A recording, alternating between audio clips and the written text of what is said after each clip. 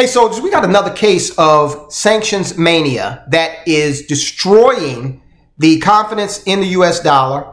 It is driving us further and further toward losing dollar hegemony. And it is making the value of the dollars that you have in savings worth less. Who's doing this? Joe Biden. Joe Biden and those sanctions, they have not learned that this is actually turning countries against the United States. It is bolstering BRICS, for example.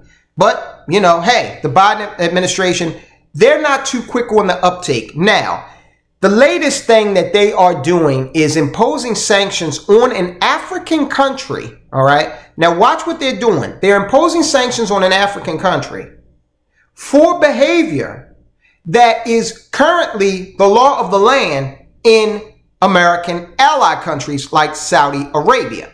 So this is a duplicitous process. It is, uh, one might say, bullying Africa because this certain African country lacks a very important component. We'll get to that in a minute. In the meantime, like, subscribe, hit that thumbs up. You guys do it so well. So go ahead and do that. Enlist, become a soldier of finance. Let me know you did so in the comments. I will salute you.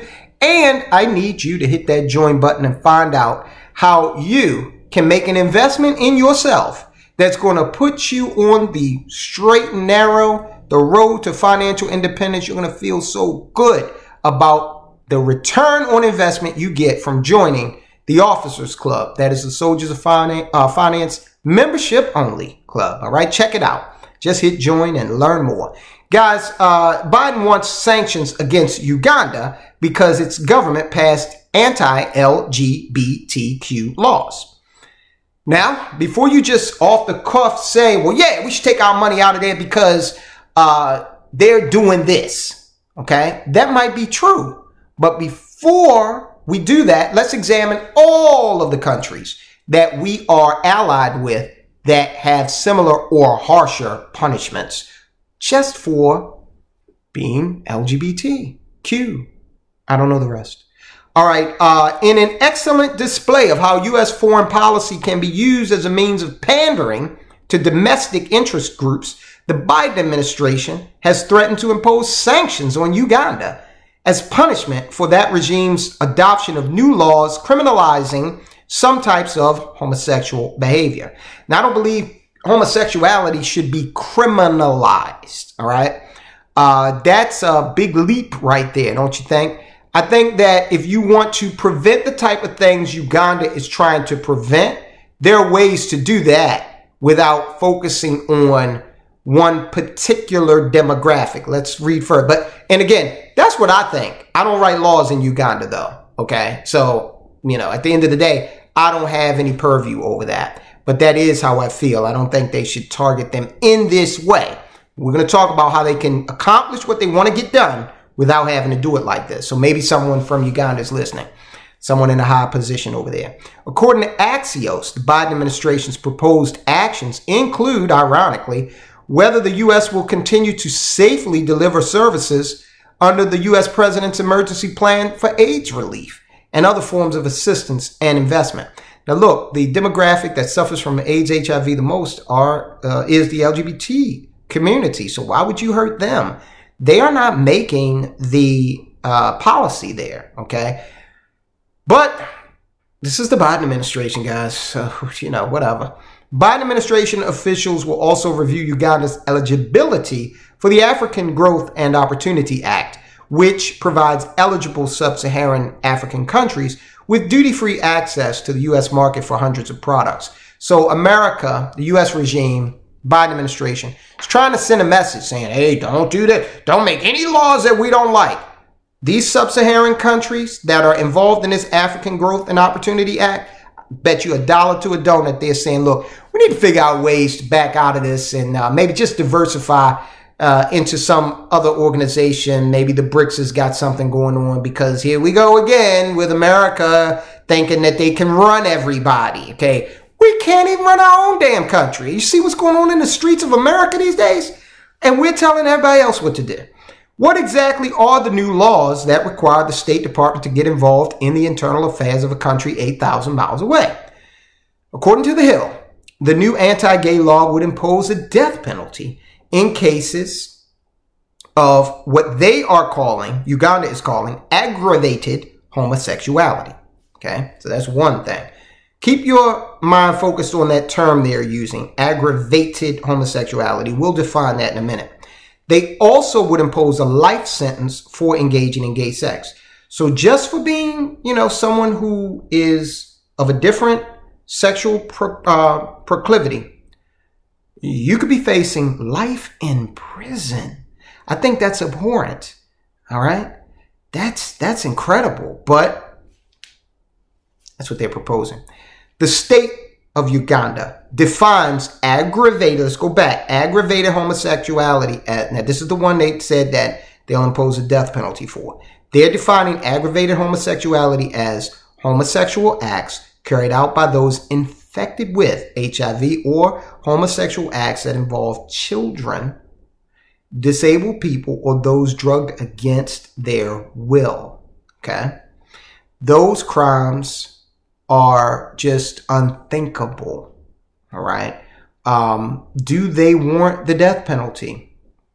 That's a discussion that's for another video. Weigh in in the comments uh, what your opinion is on that. Put another way, the death penalty will be imposed in many cases on those found guilty of engaging in these acts with children and with people unable to consent. Now, uh, let's go further and then I'll stop. Even in those cases, these are pretty harsh penalties, and certainly few Americans from any political party or any part of the political spectrum would support such measures.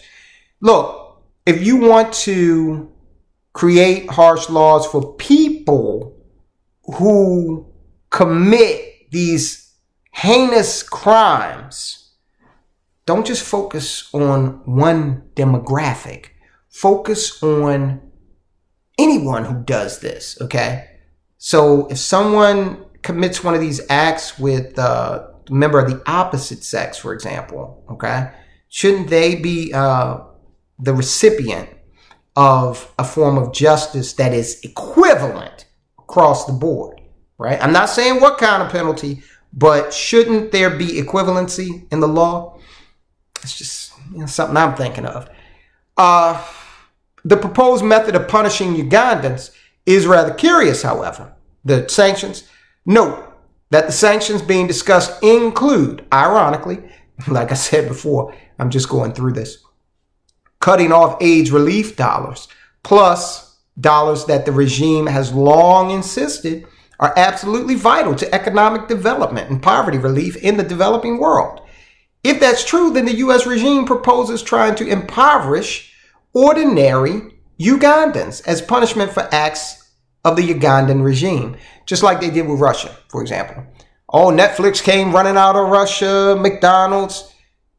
Did they really think that Putin was bothered by that? Did they think that the oligarchs were taking time out of sitting on their yachts and, you know, doing international business? Did they think they were saying, oh, hey, whoa, whoa, whoa, that meeting that I got scheduled with you to talk about buying more uh, yachts and more oil fields?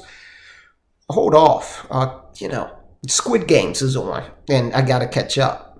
Or did they think Putin was just like, such a, a, a, slave to the Big Mac that when he found out sanctions were going to be imposed, he said, "Oh, hold on, I'm going to pull troops out because you know I, that special sauce, lettuce, cheese, pickles, onions on the sesame seed bun, I can't resist." Okay, this hurts the people, not the actual ones making decisions. It also it, uh, it is also notable that the U.S. regime appears to now be fixed on fixated rather on such laws in Uganda when similar laws are already existing on the books of several U.S. allies. Mm-hmm. For example, the death penalty can be imposed for various homosexual acts in Saudi Arabia, Qatar, and the United Arab Emirates. Death by stoning is also inflicted on alleged homosexuals in U.S. ally Pakistan. Moreover, after 20 years of U.S. occupation, Afghanistan imposes several punishments uh, on the homosexual community. And we were in there for 20 years. We were imposing democracy at the, you know, point of the M4, right? And we didn't clean that up while we were there. How duplicitous, how, uh, you know, hypocritical of us. But, you know, it's America, right? Uh, and when I say America, please understand, I love this country. I despise this government. Um, those are just the places where the death penalty is potentially imposed. Homosexual acts are criminalized, believe it or not, in a variety of countries that retain friendly relations with the U.S., including Egypt, the top recipient of U.S. foreign aid, plus Iraq, Jordan, South Sudan, and Nigeria. Homosexual sex between males can bring life imprisonment in Tanzania. So why is Uganda now so much in the crosshairs while Saudi Arabia escapes notice? Well, come on. Okay, you know what Saudi Arabia has. They has or they have rather oil, and they're aligning further with uh, the East. They're leaving U.S. hegemony behind, diversifying. The fact is, the U.S. regime is threatening sanctions on ordinary Ugandans because it can given that there is no sizable or electorally powerful Ugandan population in the U.S. It costs the administration nothing to denounce Uganda while also virtue signaling to extremely powerful and well funded domestic LGBT interest groups. I want you to also take a look at how that community is treated in um, Ukraine. Okay, just look it up. Denouncing the Saudis or the Qataris, on the other hand, might bring geopolitical complications, and thus you won't hear much about Saudi or Qatari punishment for homosexual uh, for homosexual acts in the U.S. media or in Washington. So we got uh, some moralistic uh, imperialism, some uh, some financial colonialism going on here. Uh, so that's what the U.S. does. Okay? And that's why more and more countries are backing off, saying, you know what, we're not going to put up with this anymore. Uh, we're going to ally with countries economically that respect our sovereignty. Again, if you go throughout all of the countries in the world, first of all, you can start here in the United States if you're a citizen. There's going to be a bunch of laws that we have that you disagree with. So you can bet your bottom dollar that as you start to travel around the world, you may find yourself in places that have some laws you think are absolutely abominable. Okay. Uh, yeah, that's reality. But uh, the question is, is it actually good for the United States to carry out this hypocritical moral uh, process or uh, moral initiative, okay, when we don't have our own house clean to begin with. But in the wake of what we've seen happen with the sanctions that we've imposed on Russia and the blowback that we've gotten and the realignment of world nations since then, the rise of China taking advantage of all of it, do we really think it's still a good idea to impose sanctions on these countries for these capricious uh, uh, reasons of, you know, saying we don't like what you got going on domestically. Sure, it's the look. If the United States is giving away money, it's our money, right? And so at the end of the day, we elect these people to decide who to give the money to. Sure, we can take it away.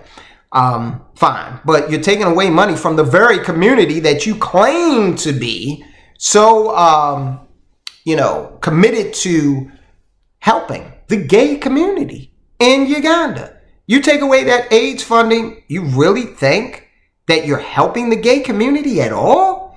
Wouldn't it? Here's an idea, okay? Since the US just loves printing up money, here's an idea.